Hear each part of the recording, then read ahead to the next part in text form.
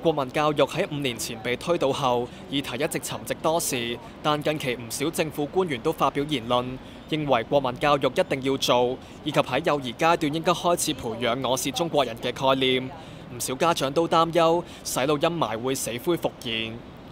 有立法會議員認為，目前教育局所提供嘅參考教材同埋學校所舉辦嘅課外活動，大多都隱含偏頗嘅內容，擔心國民教育正暫建重推。又形容情況係溫水煮蛙，未來將會聯同教育界同埋家長成立反洗腦教材關注組應對。咁如果你話俾我聽呢個係必須存在嘅時候，要解答到市民，要市民認同，要教育界認同，要家長認同，要學生學界認同。先至好推行，政府有冇呢個氣量，有冇咁嘅公道去做呢？如果嗰啲質疑全部都答唔到，我幾肯定呢個將會係洗腦嘅國民教育，我幾肯定呢個係溫水煮蛙，一定係呢政權嘅工具。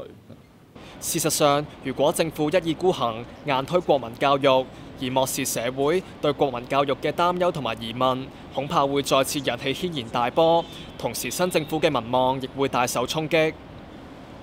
Live TV 記者楊卓文報道。